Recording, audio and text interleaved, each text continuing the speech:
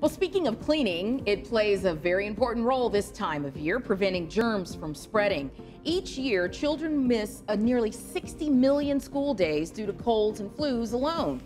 School represents a perfect storm for the spread of germs, but technology is helping districts control the spread of colds, flu, or norovirus and prevent outbreaks this year the most common things that we're seeing right now are very contagious, which means that even before kids get the symptoms, they can be sharing their germs with their classmates. But one thing that is important is that the parents and the schools find ways to prevent that spread of illness. Clorox Professional recently launched a, a, product called the Clorox Total 360 system, which is a new way to more quickly, more thoroughly, and more easily disinfect and sanitize surfaces. For more prevention tips, visit CloroxTotal360.com.